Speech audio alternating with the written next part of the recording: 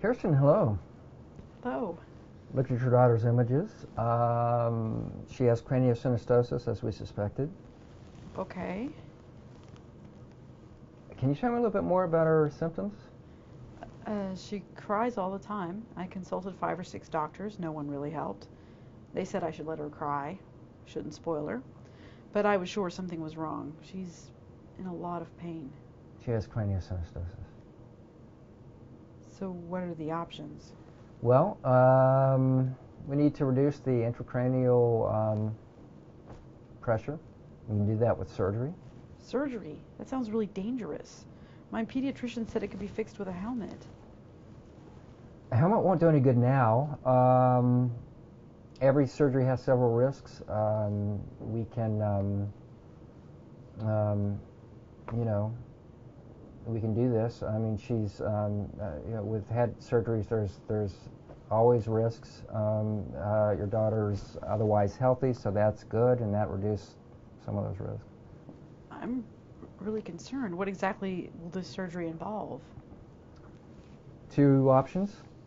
Um, she's six months old, so we can go with a um, minimally invasive procedure, or we can um, go with tra- traditional surgery, the traditional approach. My craniofacial team members and I, uh, we make an incision in her head, uh, adjust the sutures, uh, return them to a normal position, and afterwards you shouldn't see any scars or incisions at all. This sounds really difficult. It's a big surgery. It can last up to eight hours. Um, uh, operation involves the expertise of a number of different specialists working together. Um, Jenny has to be in the hospital for three days after.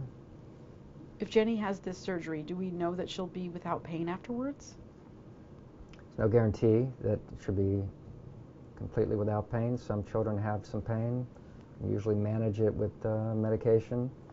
Um, in some cases, we may have to do the surgery over again, but that's very rare. I'm sorry for so many questions. I just want the best choice for my daughter. After all the bad experiences, I want to be sure. So, what about the other procedure, the minimal one? Minimally invasive uh, procedure. That's um, endoscopic. We do that on babies uh, younger than uh, six months. Um, uh, surgery takes an hour. She only has to be in the the um, hospital overnight. Probably go home the next day. Um, uh, has to wear a helmet for six months after that. Check on that helmet every three months.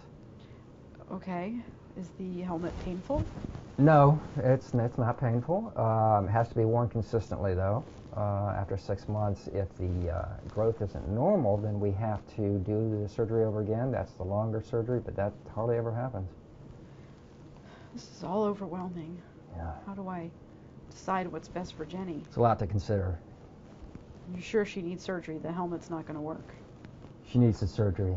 Um, uh, if you wait a month, then the you know minimal procedure won't be an option. Okay. How can I get more information? Can you suggest any other surgeons I can talk to? You can ask your pediatrician about that. This is very stressful. Uh huh. I I want to give you um, some information in a pamphlet about the condition and your treatment options. Thank you.